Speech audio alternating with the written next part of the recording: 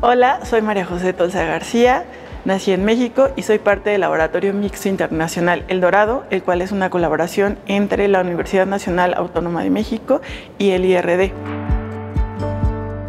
y mi proyecto consiste en desarrollar un método analítico el cual